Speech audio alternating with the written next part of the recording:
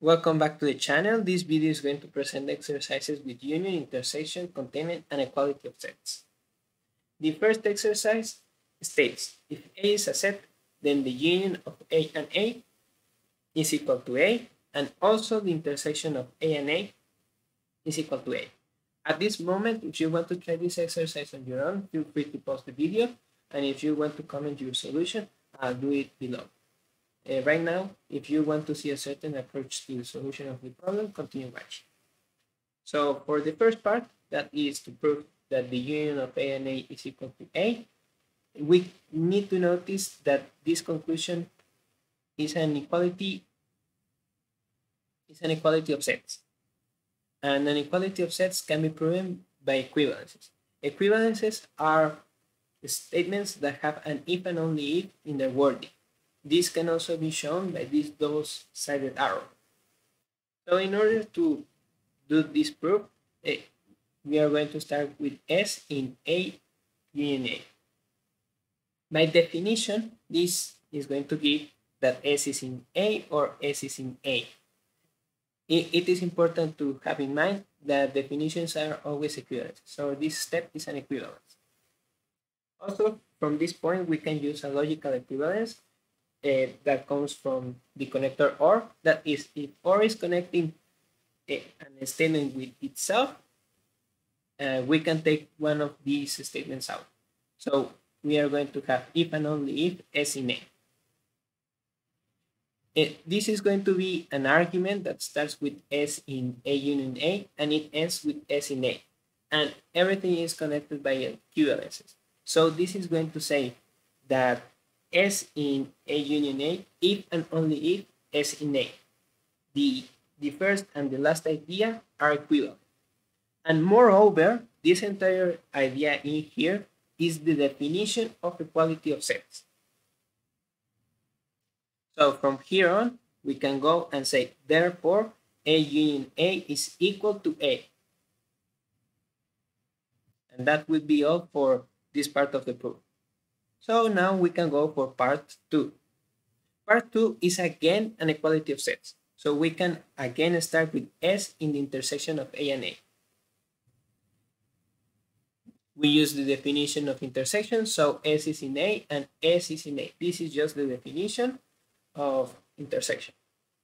Now we are again going to use a logical equivalence, but this is a logical equivalence of the connector AND.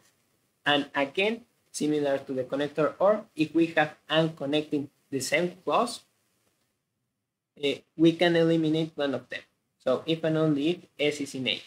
And now we have an argument that starts with S in A intersection A and it ends with S in A. And everything is connected by equivalence. So these two ideas are equivalent. So S is in A intersection A if and only if S is in A. And this again is the definition of equality of sets. Therefore, A intersection A is equal to A. And this would be it for part 2. Uh, also, this, this would be it for exercise number 1. Uh, exercise number 2 says, let A and B be sets. Then A union B is equal to B union A. And also, A intersection B is equal to B intersection A. Uh, Please try this exercise on your own. There is not going to be a proof about this exercise on this video.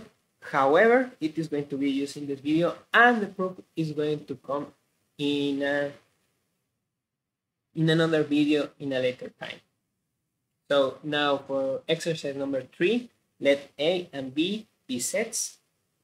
And now we want to prove that if B is contained in A, if and only if a is equal to the union of A and B. Okay, okay. Uh, feel right now, if you want to, you want to try this exercise on your own, uh, feel free to pause or now the video. And if you want to show the solution, uh, please comment. If you want to see a certain approach for solving this exercise, uh, continue watching. So this time it is interesting because what we want to prove is an if and only if statement. This is an equivalence. And one thing important to remember about proving equivalences is that in general, they are a two-part problem. What two parts? Well, there are two implications. If B is contained in A, then A is equal to A union B. And also, we have the other part.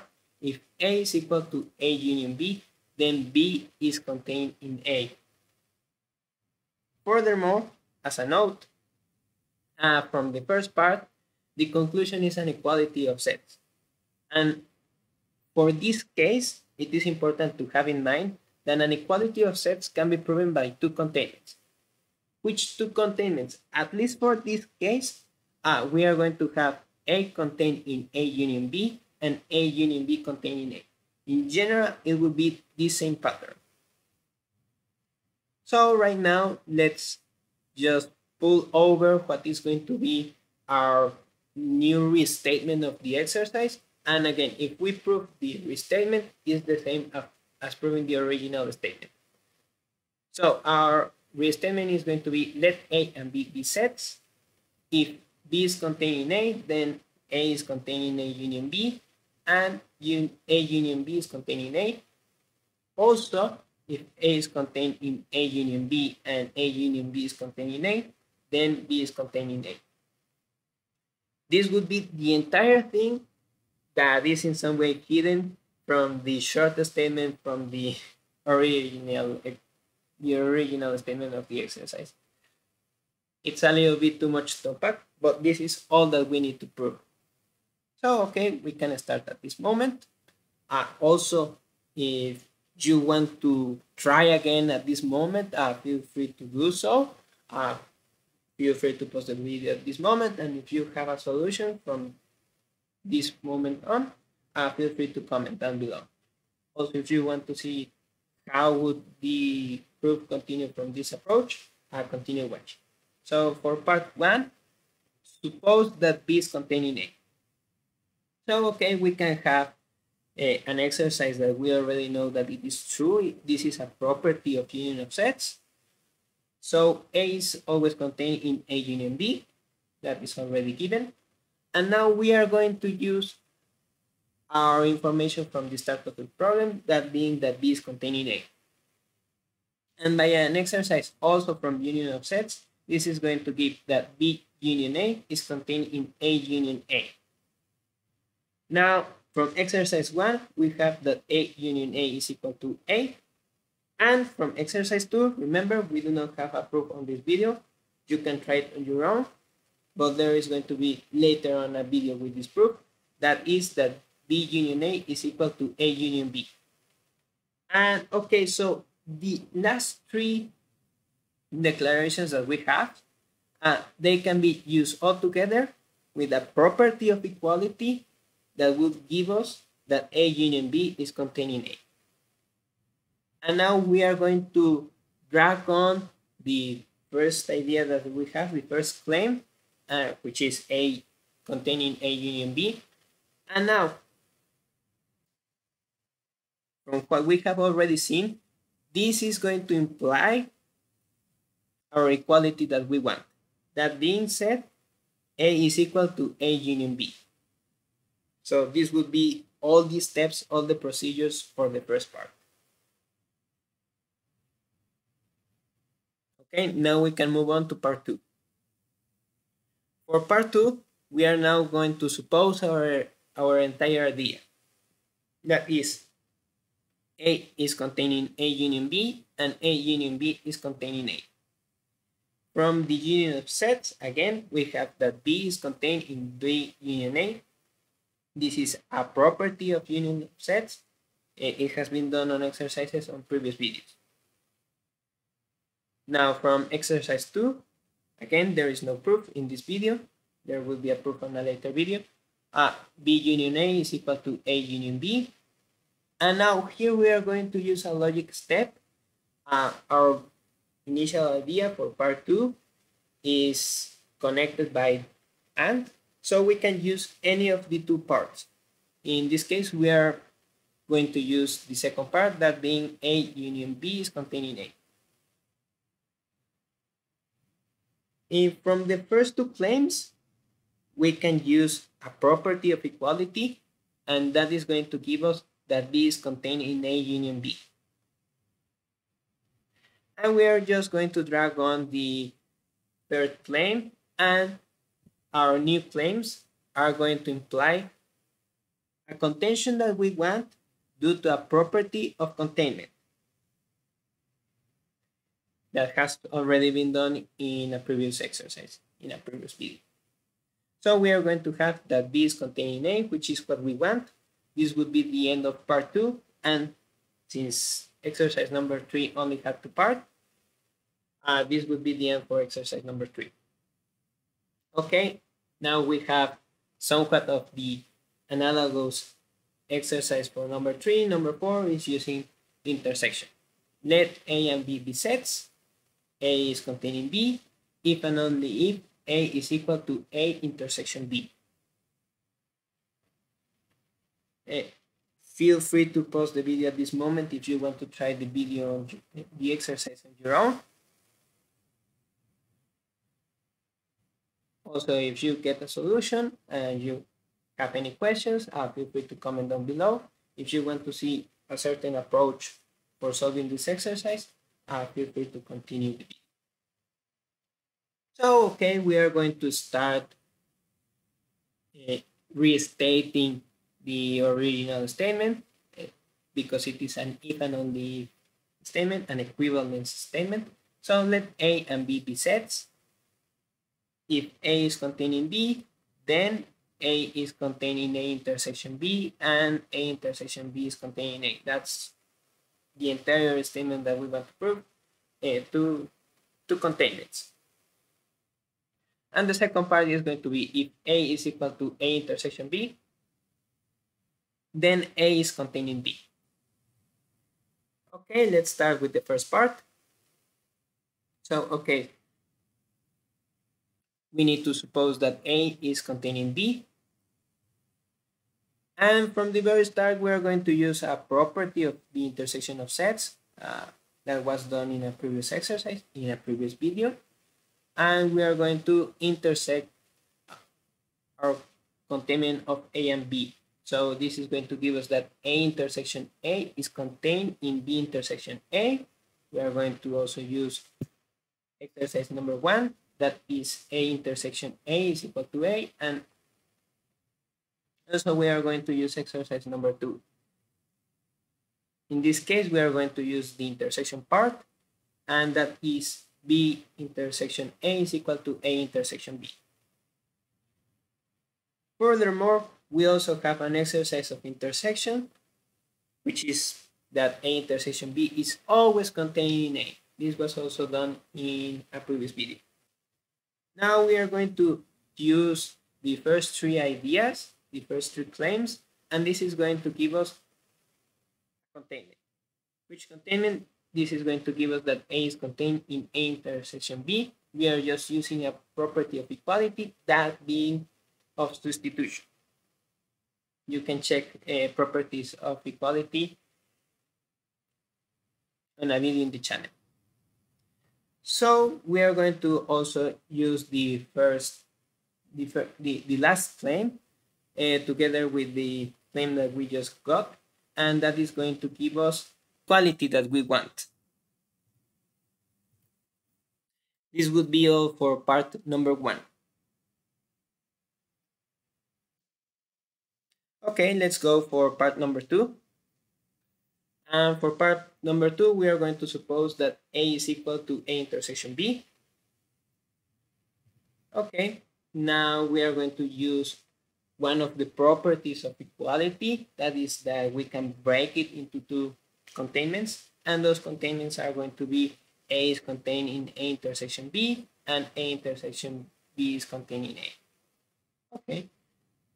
Now we are going to use uh, the logic step that we can use any of the two parts of an statement connected by AND. And in this case, we are going to use the first part. So A is containing A intersection B. We are going to use an exercise of intersection of sets that was done on a previous video. That is that B intersection A is always containing B. And also we are going to use exercise number two. B intersection A is equal to A intersection B. And so the last two claims are going to give us the containment of A intersection B in B.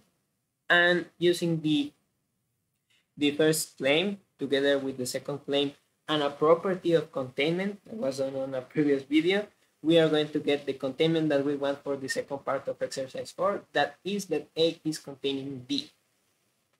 And that would be it for the second part and for the entire exercise. So let's move on to exercise number 5. Exercise number 5 states that A and B be sets and A union B is equal to A intersection B if and only if A is equal to B. This is a very interesting statement. Uh, at least the first part of the equivalence could be somewhat of a inquiry because maybe one has the question of, well, when are the union of two sets equal to the intersection of those two same sets? Well, there is really nothing to do. That only happens when those two sets are equal. Or at least that is what we want to prove. so, okay, uh, at this moment, uh, feel free to pause the video if you want to try this exercise on your own. If you have any solution similar or different to the solution that I would give in this video, feel free to comment. Or if you want to see a certain approach for solving this exercise, uh, feel free to continue the video. So, okay, we are going to again uh, restate this original statement in order to have the parts of the equivalence.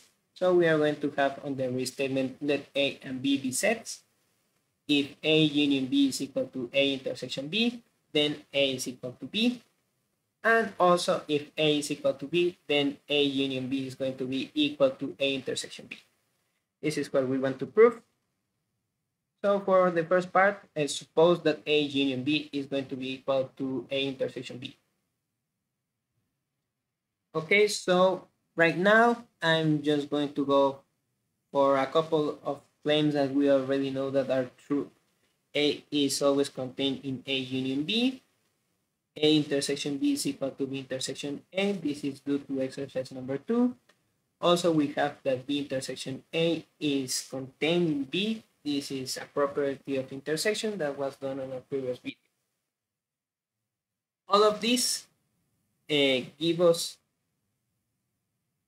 that A is containing B due to properties of equality, that being that we can uh, substitute their values. Now we are going to use again our initial information, that being that A union B is equal to A intersection B, in order to get the, the, the other containment that we need, the B is containing A. But now we are going to uh, flip a little bit our next claims. Now we are going to claim that B is containing B union A, that B union A is equal to A union B, and that A intersection B is containing A. All of these are properties that have already been proven on a previous video, or even more, exercise number two. And all of these, due to properties of equality, are going to give us that B is containing A. And here we have the two containments that we need in order to get the equality A equals B, which would be enough for part one. So we can now move to part number two. So, okay, for part number two, uh, we are going to suppose that A is equal to B. Then, by the property of equality that we have been using again and again and again, that being substitution, and now we are going to have that A union A is equal to A union B. And the idea is that we just replace the second A for B. Also, we are going to have that A intersection A is equal to A intersection B. And also, we are going to use uh, exercise number one, A union A is equal to A, and A intersection A is equal to A. And now, just using the property of equality, that being a substitution, we just land into A union B is equal to A intersection B. And that would be it for exercise number five, part two, and the entirety of exercise number five. Uh, this would be all for this video. Let me know if you like the video. Uh, you can leave me questions, comments, and your own solutions. If you want me to treat certain topic in which you're interested, let me know. Thanks for watching.